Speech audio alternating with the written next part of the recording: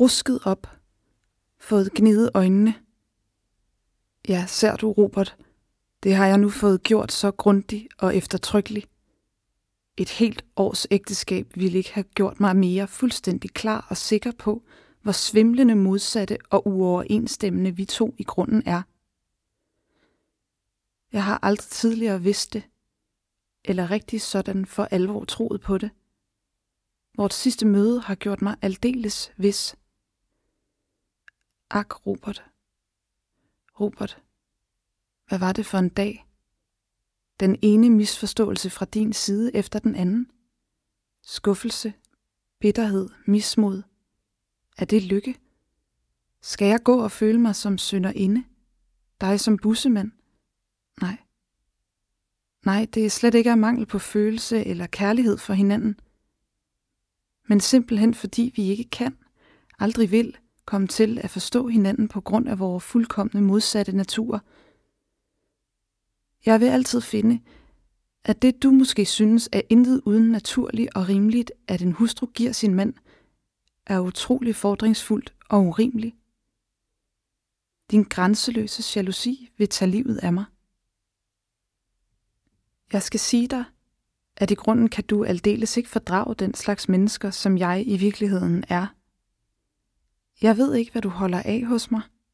Det er måske mit ydre. Jeg ved ikke hvad.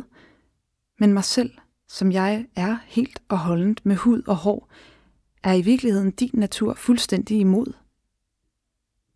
Der er jo næppe den ting, jeg gør eller siger, som du jo ikke har mindst en tredjedel at udsætte på eller ønske anderledes. Du vil støbe mig om efter dit hoved. Du vil danne mig efter dit sind. Det du alligevel i virkeligheden ønsker, er en stille, blid, hengiven hustru, som kun har blik og sans for dig. Ingen anden vilje eller mening end du. Ser du, sådan er det inderst inde. Om du også nu protesterer på det ivrigste. Og jeg mærker det jo så tydeligt.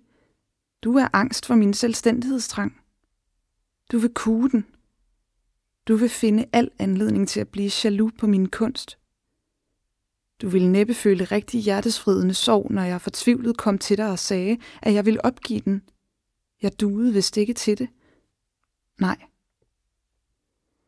Du ville snarere, om en ubevidst, dog inderst inden følte dig lettet ved tanken om, at jeg nu ophørte at beskæftige mig med andre dig uvedkommende ting. Du vil ikke bestyrke mig, give mig tillid og tro på min egen kunde. Det er jo noget, jeg allerede savner nu. Du vil finde det højst urimeligt, om jeg rejste fra dig, fordi mit arbejde fordrede det.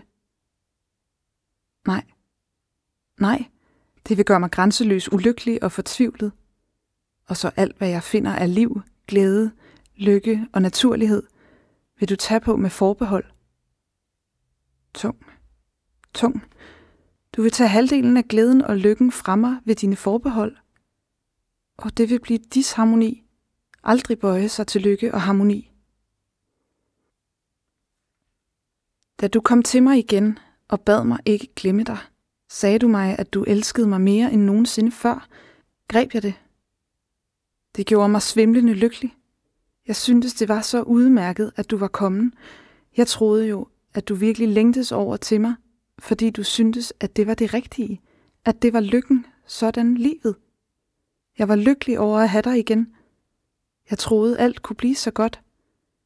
Jeg havde egentlig aldeles ikke troet, at det var vores store forskellighed, som havde været årsagen til, at det rev ud i foråret. Jeg havde ikke ville tro det, ikke kunne se det. Jeg mente, det var noget dumt sludder og vås.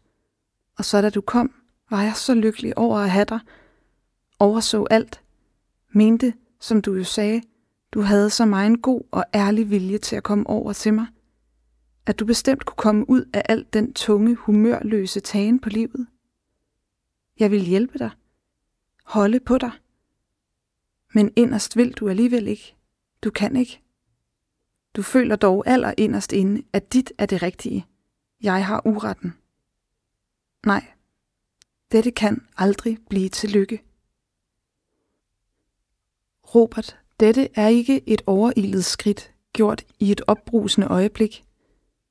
Jeg ved fuldstændig godt, og er aldeles klar over, at vort forhold er en umulighed. Vi ville måske, måske kunne hæve vores forlovelse til ægteskab, men at det skulle blive harmoni er utænkeligt.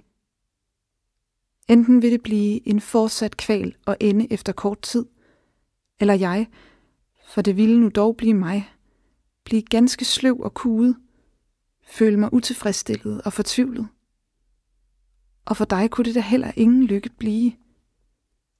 Nej, Robert. Så hellere bryde af nu.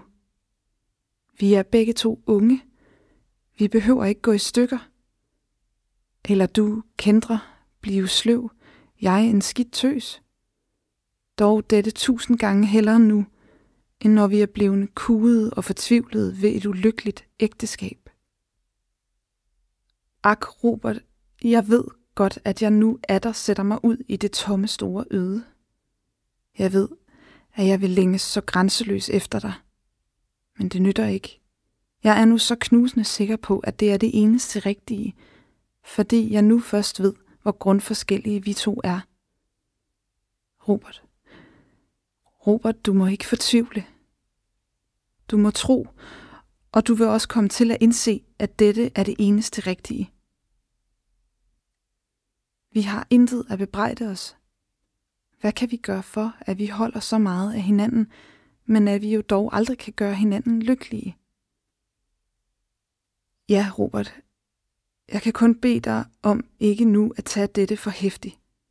Ikke bukke under i kamp. Ikke tro, at dit liv er meningsløst, fordi du mister en indbildt lykke. Det er ikke lykke.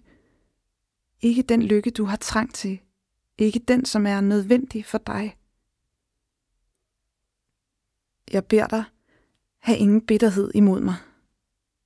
Bær intet af. Det vil kun gøre mig end mere ulykkelig.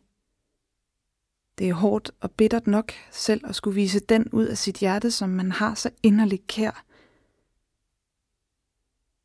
Gem min lille ring til minde om en, som holder så usigeligt meget af dig, som ville så gerne have gjort dig lykkelig. Vi magtede det begge ikke. Tak for hver en lykkelig time. Tak for alt godt. Marie